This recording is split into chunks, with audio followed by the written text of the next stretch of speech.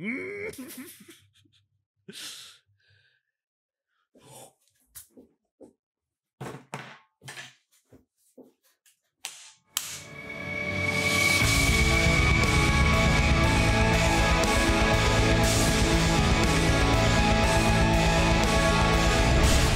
What is up, you ghosts, specters, and spirits alike? Mark with Kardavox Academy here. Thanks for hanging out. And today we're doing it. We're doing it. We're we're we're gonna talk Nightwish. Now, let me talk a little bit about Nightwish. First of all, this may come as a surprise to you. I have only ever heard one Nightwish song in my life, and that was Planet Hell. And I heard it when the album i think the album is on is once. I heard it when it first came out and way back then um nightwish had a different vocalist Tarja i think was her name. Um and so now as i understand it um nightwish is massive. Now people have asked me to talk about nightwish and uh Floor jensen or jensen tell me if i'm pronouncing it right in the comments below if you know I'm sure many of you do. A lot of people have asked me to do Nightwish, but I've always avoided it because so far on the channel we have tried to for I have tried to focus on things that as a vocal coach I will teach. And I teach predominantly screaming and like raspy belting and and gritty singing and things like that. But, you know, we've slowly been getting out of the comfort zone here and I think let's go ahead and do it. I'm a little bit late to the game here. A lot of people have uh, have reacted to Nightwish. Hopefully, I can bring some value to it. But this is going to be a lot of fun. So if you are new to the channel, be sure to like, share, and subscribe if you enjoy the content. It's a lot of fun. It helps with the algorithm. And if you enjoy the content even more and you want to help support this channel, we do have a Patreon with a pretty active Discord. A lot of people are on there having a good time. Um, and then, of course, I do give one-on-one vocal lessons. Not really for this. Um, I'm not not really much of an opera singer myself, but if you want to check out my discography with Kardashev, Neverbreath, or Viraemia, um, and see what kind of things I do and teach, you're more than welcome to. But let's go ahead and let's let's listen to uh, Floor's voice because she has quite an army. She has quite an army of adoring fans, and we're gonna see what it's uh, what it's all about. You know, years after the fact. So let's go ahead and let's get started. This is Nightwish Ghost Love Score. Um, and this I chose the video uh, live at Wacken because I would love to go to Wacken someday when we're all allowed to travel again.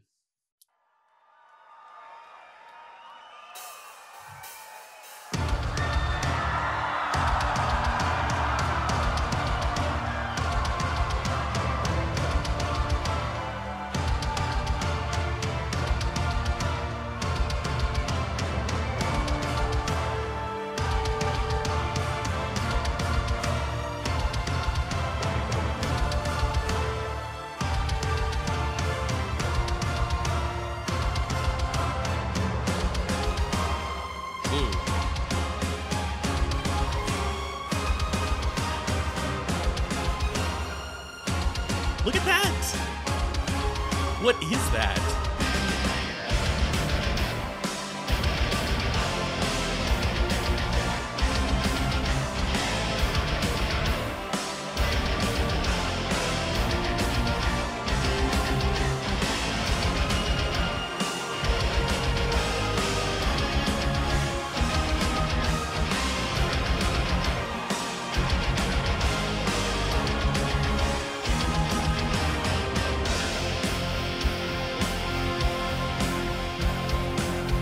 This song is all over the place, but in such an epic way.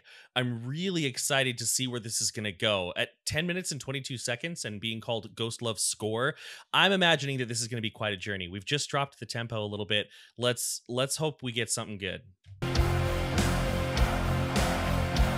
Ah.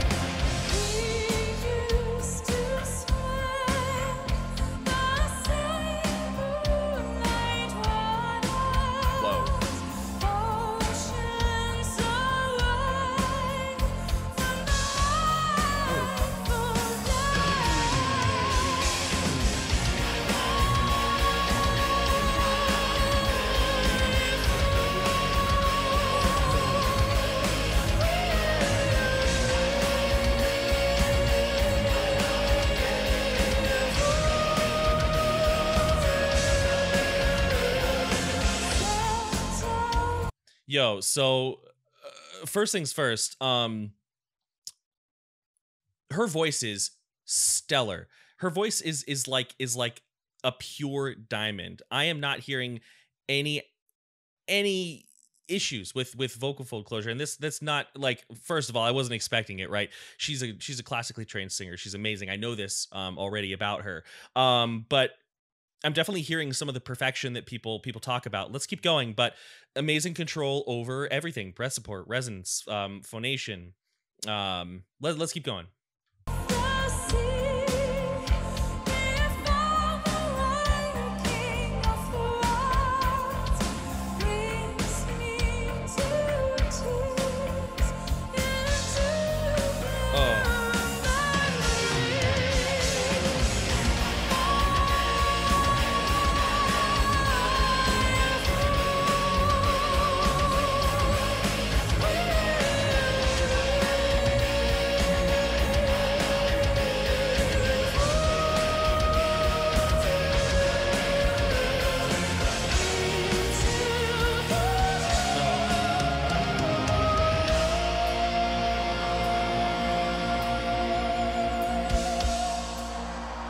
Listen to how she brought that vibrato in at the end. Nice. And it's a subtle vibrato, right? She's not all over the place, up and down. It's this nice vibrato that's happening. You know, she's got control of it, but it's also happening as a byproduct of relaxation. And that's one thing I want to really point out here.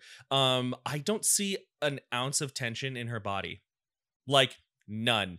And being somebody who is primarily a deathcore and death metal screamer, um, and who teaches deathcore and death metal screaming, that is something I see a lot of, and it's really a non-negotiable. Um, jaw tension, neck tension, that'll ruin you. And she's got she's got none of it, and that's part of what's letting her tone be so perfect. Her her her pitch, her movement between notes, the intonation, it's like you can't really do much better than that, in my opinion. Um, I feel like she's holding back a little, but not in a bad way. Like in a way where she's drawing in my anticipation, and I'm like, "What are you gonna give me here in the next couple minutes?" Because like I, am already getting some some amazing technique here. Um, she's also got really good control over her vowels, right? If you look at her mouth, if you look at the shape of her mouth, her oral posture, you can see her make minute adjustments with her lips and her jaw to really make each vowel count, right? And just watch watch her mouth while while we continue on. But dang, dang.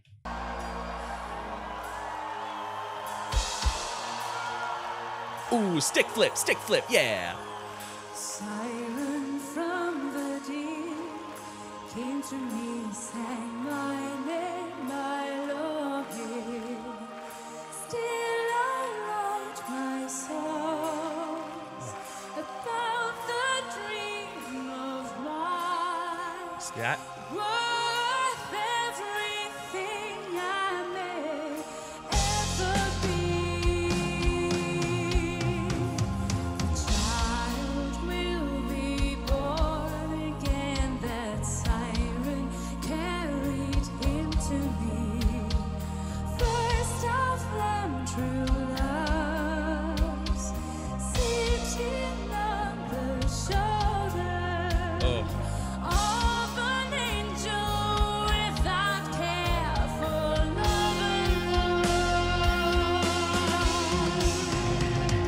Now that's good storytelling. That's good storytelling. So um throughout that section, she started a little bit warmer, a little bit breathier, right? But in a good way. Um and throughout the song, she started to give a little bit of power to her voice. You can see in a couple spots she actually pulled her lips back away from her teeth, brightening that timbre.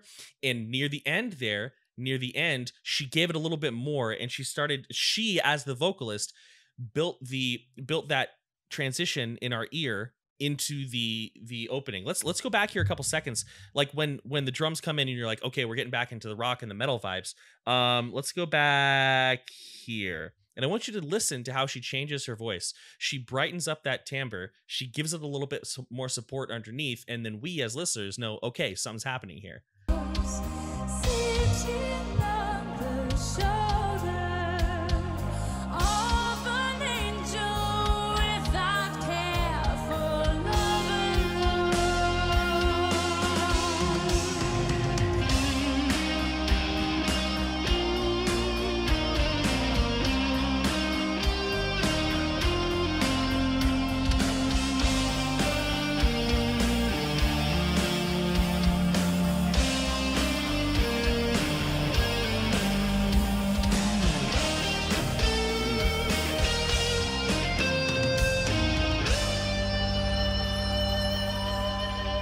Hold that. Hold that note, brother. Hold that note.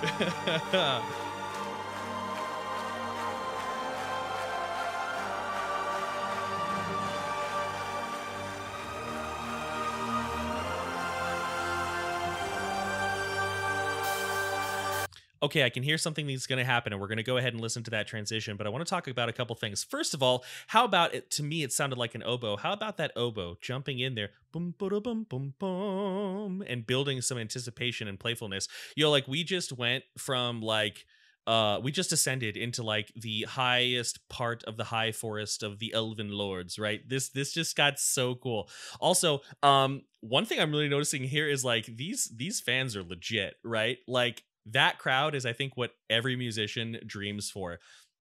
I think i saw like a couple people crying. I think i saw like one or two nightwish tattoos and everybody i didn't see a cue from the band but everybody starts clapping dot dot dot dot dot dot dot which tells me that that whole crowd knows this song so well that they're able to count in eh, and anticipate collectively when something's going to happen. Now there may have been somebody i didn't see on stage being like come on yeah right but i didn't see that um, so like pretty let's let's see what's happening here. Let's let's see what's gonna happen.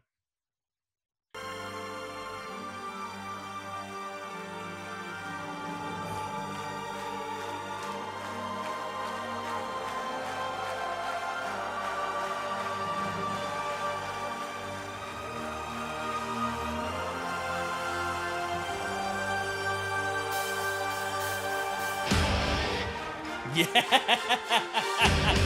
yes. Yes.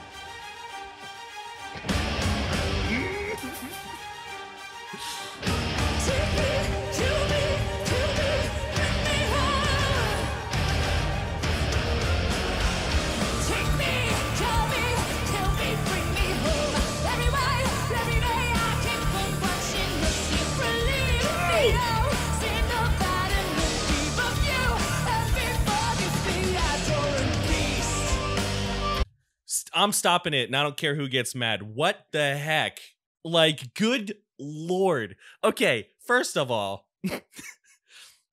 remember how at the beginning where I was like, I think she's holding back. I think she's like, you know, she's she's hiding what she's what she's gonna do. Uh I think that might have been what I was waiting for.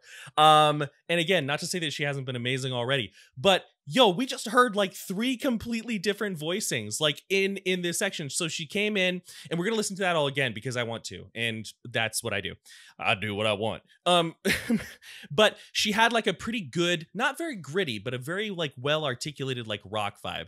And one thing that I'm liking about her voice really well so far is she she utilizes styles that are popular, but she doesn't fall into the stereotypical sound of that. Honestly, I'm not a big rock guy, and I know that this is not a rock song, but she used some rock singing techniques.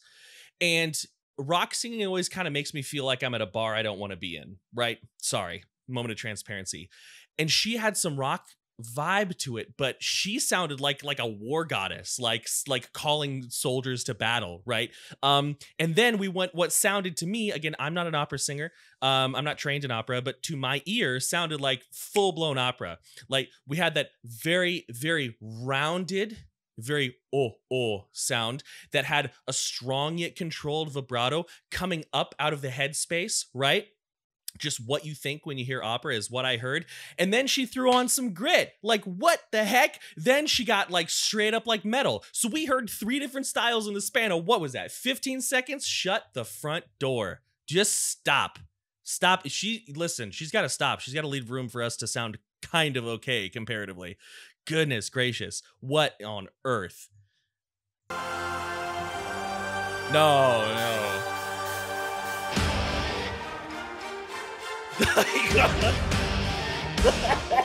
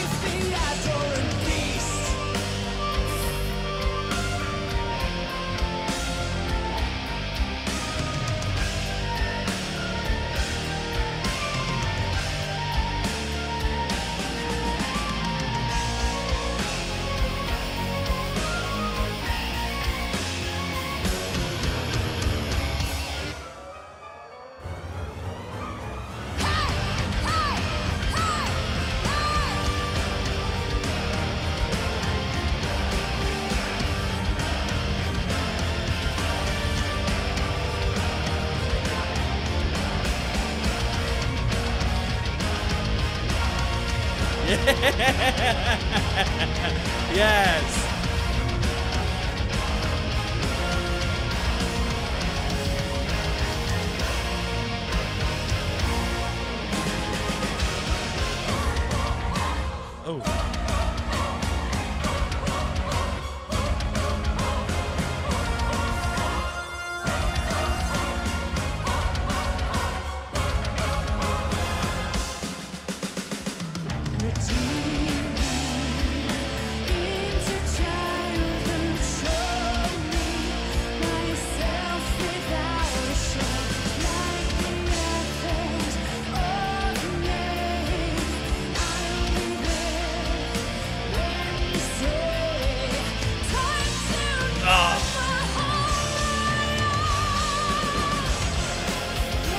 You know, first, totally off topic, but does anybody, any Star Trek fans out there, her eye decoration stuff, does it remind you of Trill from Deep Space Nine? Like, is anybody get Je- getting Jadzia Dax vibes? No, just me. Okay, cool.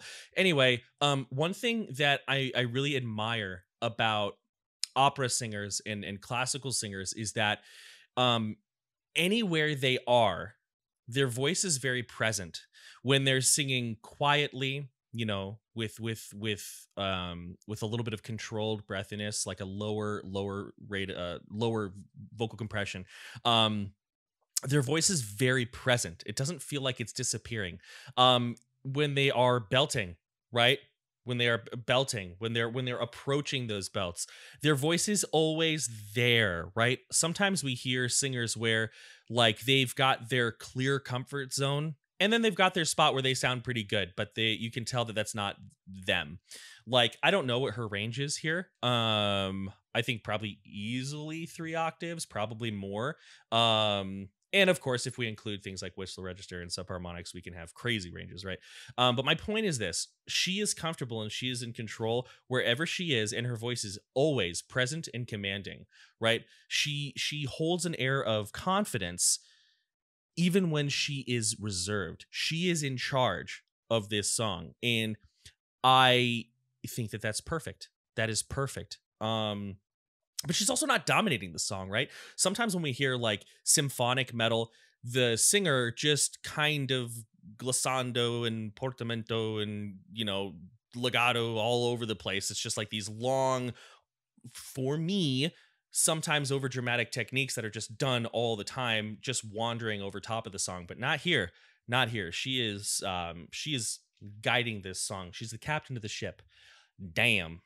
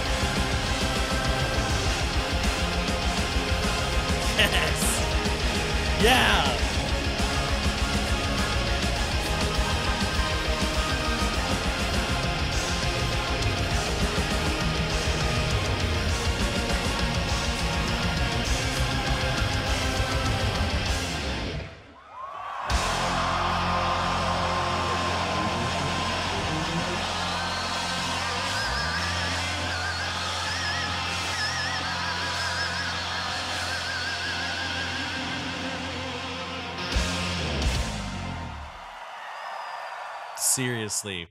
First uh first thing, I love that the bassist had a corona on his on his bass cap. Like they came down from Mount Olympus. They came down from Asgard and they're they're cool chilling with us common folk, right? like he's like they've got this beautiful stage with this beautiful lighting and they're all dressed just to just dressed perfectly, right? They look amazing. Corona humble beer for a humble man. I like that. Um wow. Okay, so yeah, uh I get it. I get it. I I see why people ha- love Nightwish and love Floor so much. Um I I couldn't even think of anything negative to say or constructive to say, right? Part of that is because this just isn't my school of of of vocalization, but another part is just cuz like it was amazing, right? Um that whole song had such a story, such an epic feel and she did exactly what was needed at exactly the right times. Um amazing, amazing. Takeaways from this video, floor is amazing. Um and and really like even for us metal vocalists even for us people who all we do is like gutturals and and high screams which is fine by the way i mean that's a lot of what i do right never underestimate never underestimate working on your vowels in clean singing right get yourself a, uh, a guitar get yourself a piano or a little a little electronic keyboard like i have right? Doesn't even have to be fancy. I think mine was like 60 bucks on Amazon. Um, play with those vowels, play with your teeth, your tongue, your jaw. Find where that vowel really opens up and feels most comfortable. Um, but anyway, my DSLR only lets me record for so long, and uh, we're running up to that. So again, wowzers! If you If you enjoyed the video, if you liked the content, feel free to like, share, and subscribe. It really does help with the algorithm. Again, we have a awesome Discord through our Patreon with tons of fun people. Uh, we've got a few Nightwish fans there, so they'll be happy to talk to you. Um, but feel free to check us out on Patreon if you want to help us uh, make more of these videos. And if you are interested in vocal coaching, for more metal and rock styles. Check out some of my other, other videos. I have tons of students all across the globe um, and i would love to help you out too. But beyond that as always many thanks. Much love. I'm out